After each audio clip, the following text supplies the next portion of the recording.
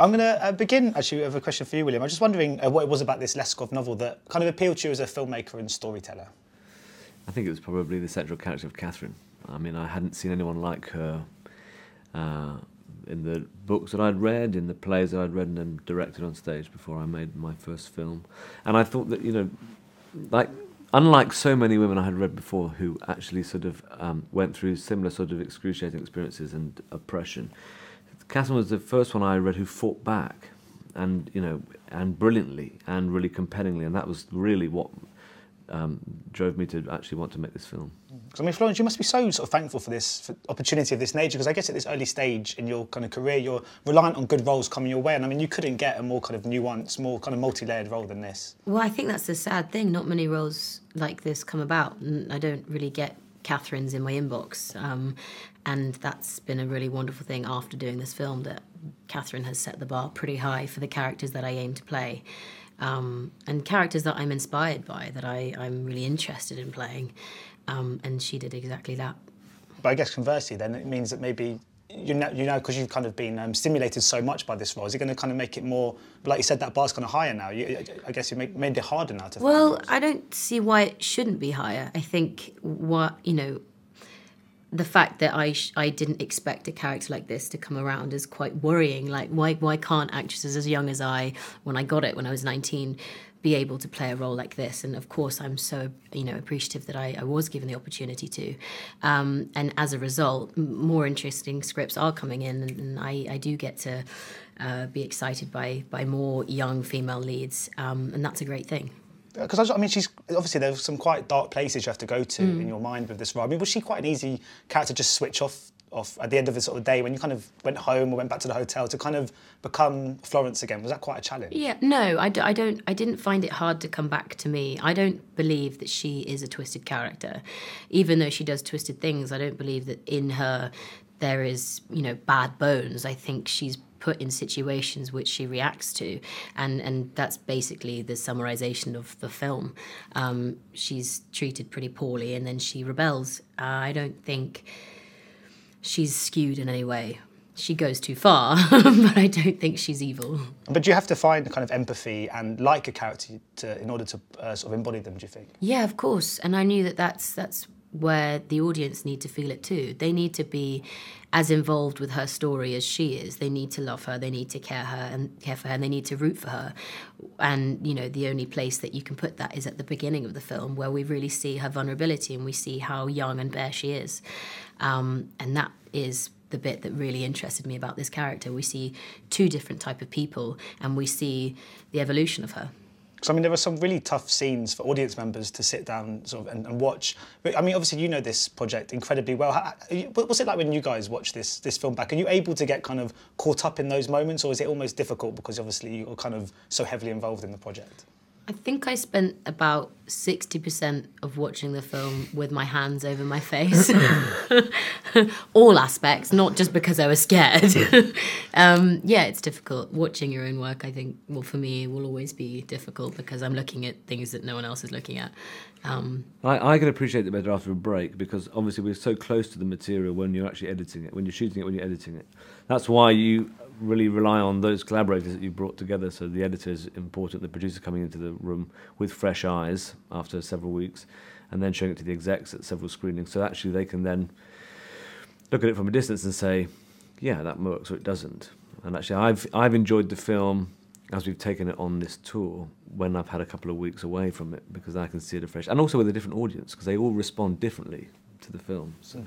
Yeah, that must be one of the cool things about it. This obviously did the sort of festival circuit. Yeah. To find out how different audiences around the world mm. react must be quite interesting. Yeah, of course. I mean, that's the best thing about it. I think that you actually get to see an audience. I mean, I'll never ever forget the premiere in Toronto.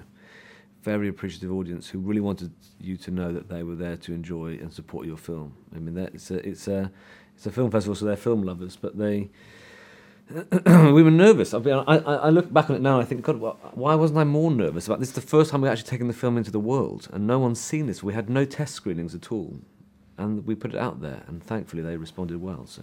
So how much changes when taking this tale from Russia to England? Not just the, in terms of just obviously the setting, but the characters, the narrative. I mean, I guess are there any kind of quite subtle kind of changes that derive from that change of setting?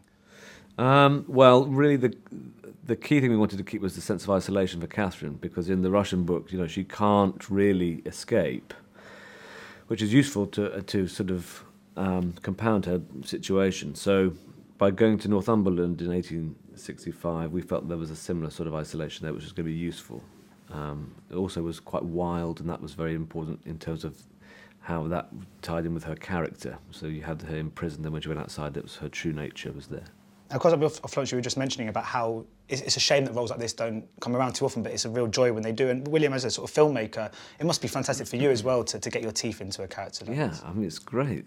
It's really fantastic. It means that when you're actually making the film, because she's at the heart of it, you aren't really worried about where you're meant to be looking because you've got this great character. You want to follow her story. It's told from her point of view. She's compelling, she's original, she's dynamic.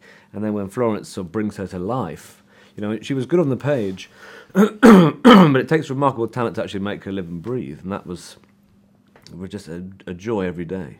Yeah, I don't mean to make you, you blush, Florence, but this is obviously this happens when you get paid interviews. But um, I was just wondering. I mean, so many fantastic reviews are coming in for this, and so much of the focus has been on how brilliant the lead and central performance is. I mean, how what does Florence bring to this character?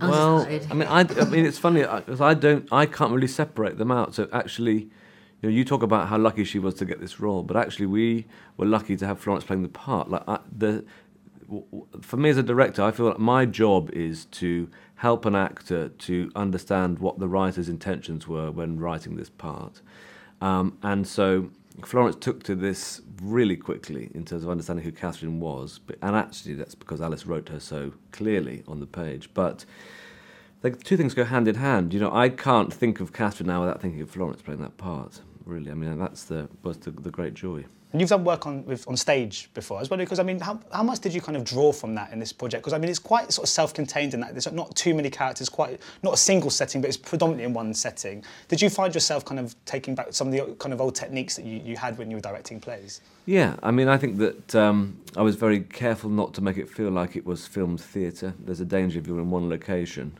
that it can end up you just you just rehearse it like a play and then you put the camera somewhere and hope that it gets generally just covers you know the action. But I was really clear that we made it cinematic, and that was about camera position and so on.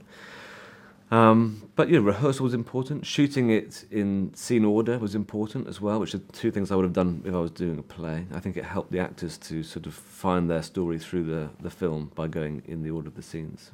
And just very, very quickly before I go, uh, Fighting with My Family is coming next with you. I just have yes. to ask because it's got The Rock in it. It's directed by Stephen Merchant, which is yes. just two wonderful things.